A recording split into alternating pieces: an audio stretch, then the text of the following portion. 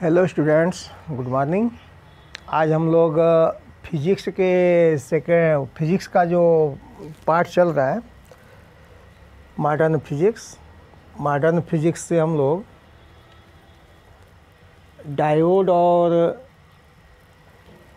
Transistor वाले part में हम लोगों को डायोड ही पढ़ना है केवल और डायोड वाले पाठ में हम लोग डायोड का उपयोग देख रहे हैं आजकल। तो डायोड के उपयोग में हम लोग diode as a as a half rectifier half rectifier और फुल फुल वेव रेक्टिफायर ये हाफ़ वेव रेक्टिफायर और फुल वेव रेक्टिफायर ये दो वाला दोनों हम लोग पिछले वीडियो में पढ़ चुके थे। आज हम लोग डायोड का एक दूसरा उपयोग पढ़ेंगे कि डायोड से हम लोग लाइट भी प्राप्त करते हैं और ऐसे डायोड बनाए जाएँ जिनमें से जिनमें जिससे प्रकाश उत्सर्जित होता हो, प्रकाश निकले या प्रकाश प्राप्त हो। प्रकाश ऊर्जा प्राप्त हो, ऐसे डायोड को हम लोग कहते हैं light light emitting light emitting diode means वो डायोड जिससे हम लोगों को प्रकाश प्राप्त होता है, ऐसे डायोड को हम लोग कहते हैं लाइट एमिटिंग डायोड साठ में इसको हम लोग कहते हैं, साठ में इस डायोड को हम लोग कहते हैं एल ई डी प्रकाश उत्सर्जक डायोड। एलईडी का पूरा नाम है। लाइट एमिटिंग डायोड मीन्स प्रकाश उत्सर्जक डायोड ऐसा डायोड जिसमें से प्रकाश का उत्सर्जन होता है, ऐसे डायोड को हम लोग प्रकाश उत्सर्जक डायोड कहते हैं। प्रकाश उत्सर्जक डायोड क्या होते हैं? तो प्रकाश उत्सर्जक डायोड जो है परिपथ में अग्र अभिनत करके परिपथ में फॉरवर्ड बेसिंग से स्रोत से जोड़, जोड़े जाते हैं।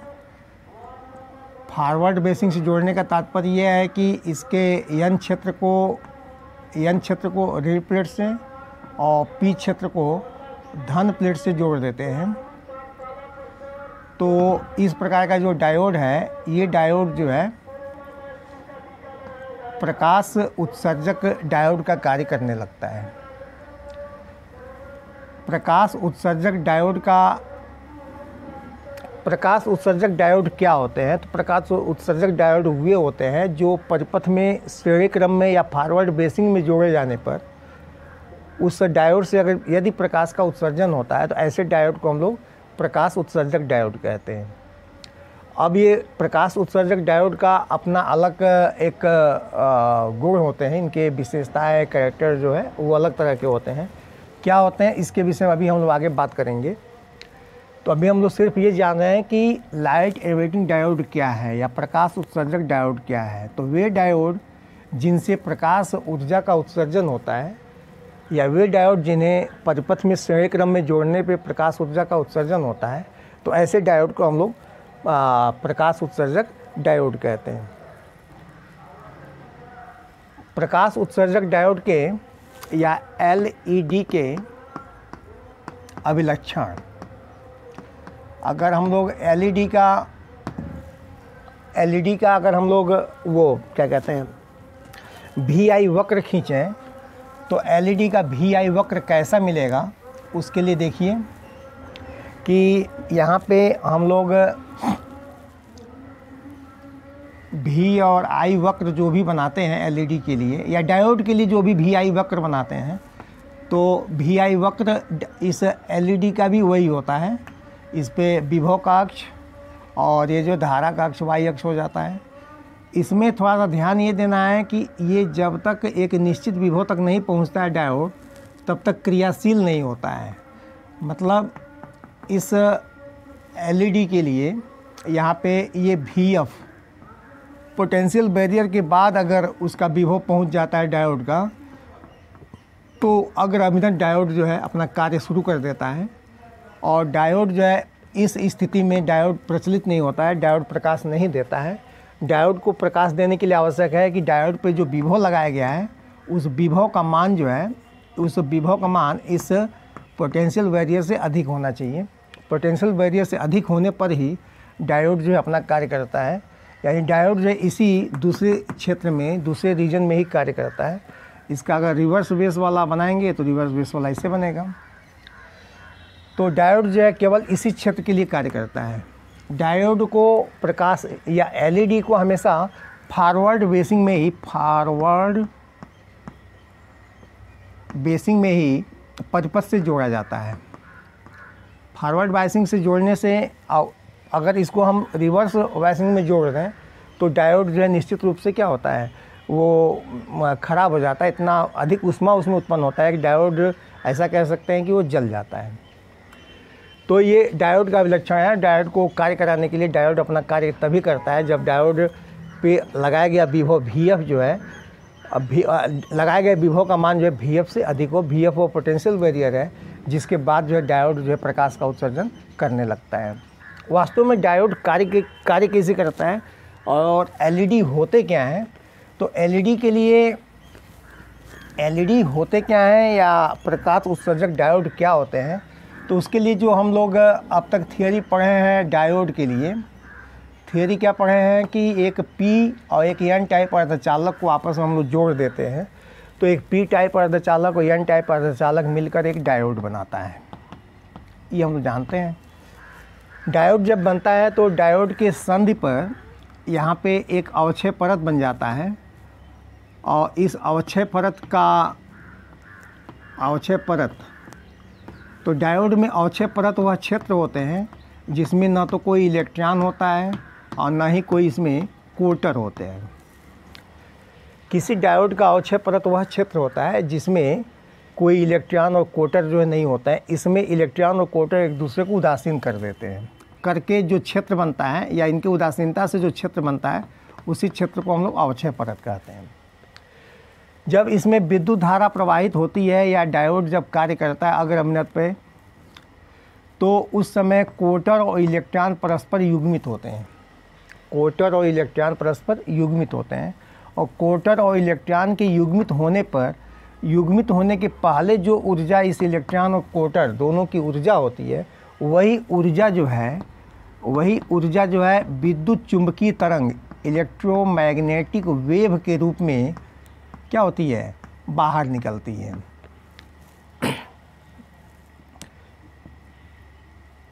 डायोड में प्रकाश कब निकलता है या डायोड से अन्य प्रकार के विकिरण कैसे उत्सर्जित होते हैं, उसके लिए थियोरी ये है कि जब उच्च ऊर्जा वेग से गतिशील इलेक्ट्रॉन और कोटर एक दूसरे से संयुक्त होते हैं या एक दूसरे को उदासीन करते हैं तो उस अवस्था में इलेक्ट्रॉन और कोटर की अपनी जो ऊर्जा होती है, ये दोनों ऊर्जा जो है क्या होती है? यही ऊर्जा जो है विकिरण के रूप में, विद्युत चुंबकीय तरंग के रूप में वहाँ से उत्सर्जित होती है।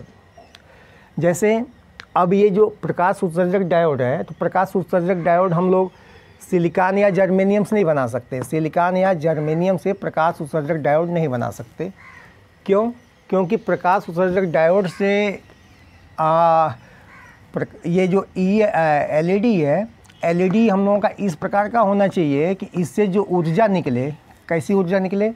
तो इनके युग्मित होने के बाद जो ऊर्जा निकले या जो ई एम डब्ल्यू के रूप में जो विकिरण निकल रहा है इस विकिरण की तरंग दैर्घ्य अगर हम लोगों के दृश्य प्रकाश के क्षेत्र में इलेक्ट्रॉन और कोटर की ऊर्जा जो विद्युत चुंबकीय तरंग के रूप में निकल रहा है, उस विद्युत चुंबकीय तरंग का तरंग दैर्घ्य यदि चार हज़ार एंगस्ट्राम से लेके, और अठहत्तर सौ एंगस्ट्राम के बीच में अगर है तो वह विकिरण जो है प्रकाश का कार्य करेगा।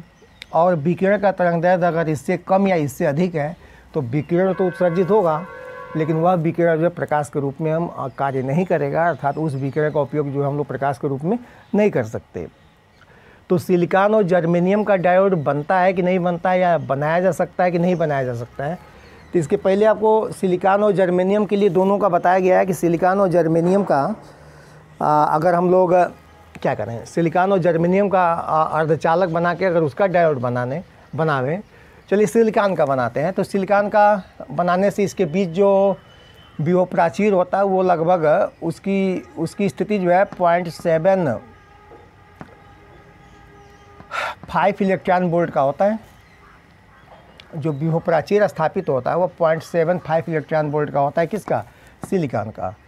तो मान के चलिए कि point seven five electron volt वह ऊर्जा है, जिससे कोई electron point seven five electron volt वह ऊर्जा है जिससे कोई इलेक्ट्रॉन जो है क्या करता है? इलेक्ट्रॉन जो उस पोटेंशियल बैरियर को तोड़ देता है। किस पोटेंशियल बैरियर को?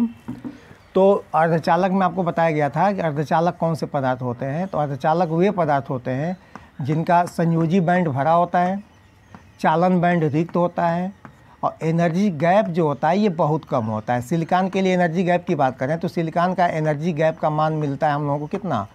Zero point seven five electron volt इस सिलिकॉन के लिए मिलता है। तो मान लीजिए हम लोगों के पास एनर्जी लेवल है।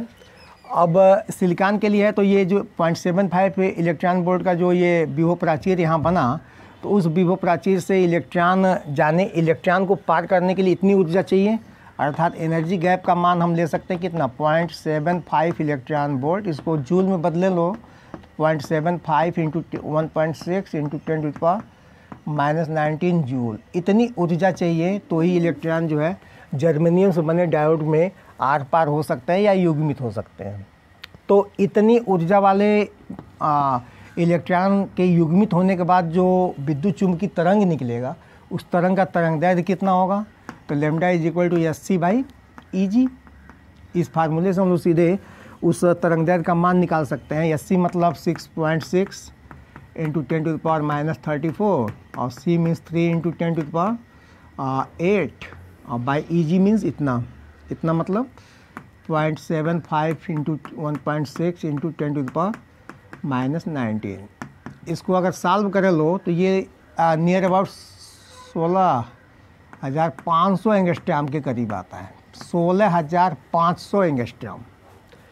ये लंबाई जो है मीटर में इसको सॉल्व करेंगे ten to power minus seven और इंटू ये जो कांस्टेंट है, उनका मान पूरा सॉल्व करने पे ये लगभग इतना आता है। लगभग इसका मान जो इतना आता है।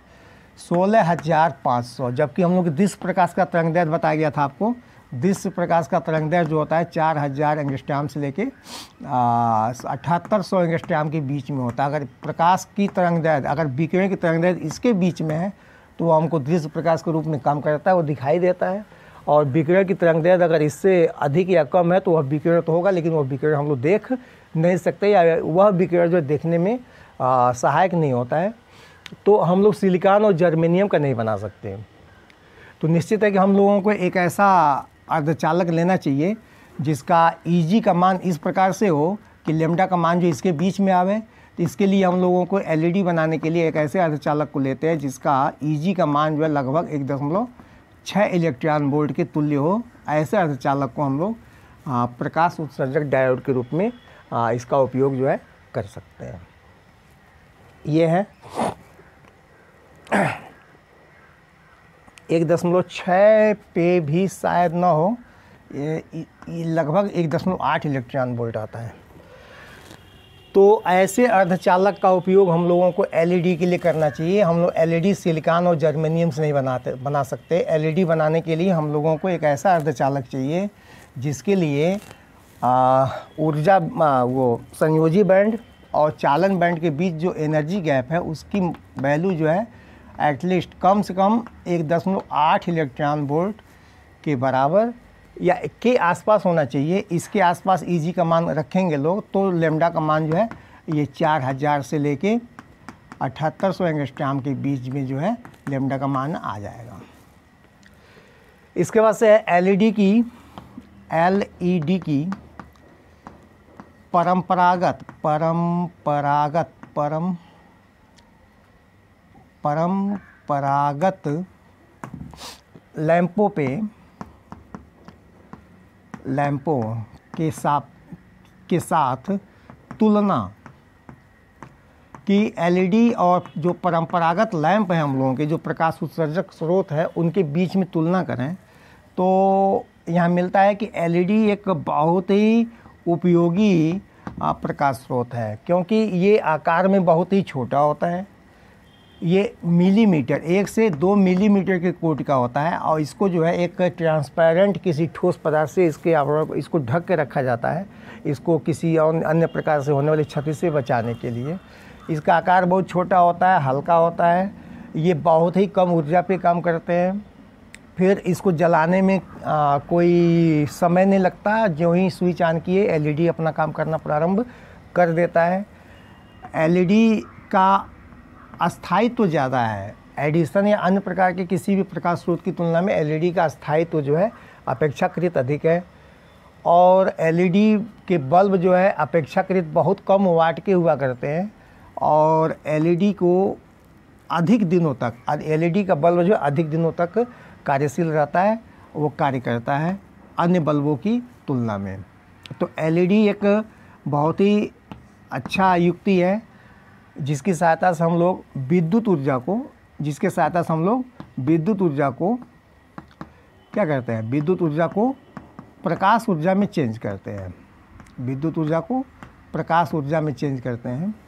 सामान्य जो एडिशन का बल्ब होता है एडिशन का बल्ब फिलामेंट का जो बल्ब होता है, वो वो विद्युत ऊर्जा का 40 प्रतिशत भाग ही प्रकाश में चेंज करता है। अब बाकी 60 प्रतिशत भाग जो है उस एडिशन वाले बल्ब का, वह उष्मा में उत्सर्जित होता है। जबकि एलईडी का जो बल्ब है, ये अंठानवे प्रतिशत प्रकाश देता है और केवल दो प्रतिशत या इससे भी कम जो है, ये उष्मा उत्पन्न करता है। तो एलईडी से प्राप्त लाइट को हम लोग कोल्ड लाइट भी कहते हैं। कोल्ड प्रकाश, ठंडा प्रकाश। एलईडी से जो प्रकाश उत्पन्न होता है, उस प्रकाश को हम लोग कोल्ड लाइट भी कहते हैं, ठंडा प्रकाश भी कहते हैं।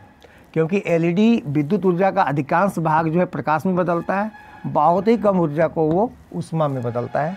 इस प्रकार एलईडी का जो बल्ब होता है, वो अन्य बल्बों की तुलना में अत्यधिक श्रेष्ठ है। आज के लिए बस इतना ही, ओके, थैंक यू।